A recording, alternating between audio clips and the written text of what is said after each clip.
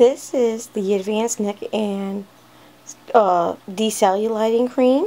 It's very easy to use. It's basically like a lotion. You pull the cap off.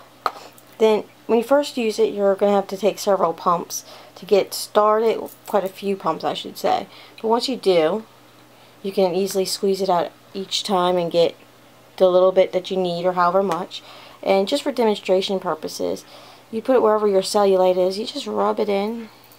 Very quick to absorb into the skin. It's very lightweight, gentle, and it has a citrusy sort of smell to it that you you don't really smell um while putting it on. But if you were to smell your skin where you put it on or smell it close up, you smell it. But walking past somebody, the chances are you're not going to smell that citrus smell. So it's a very light, subtle scent.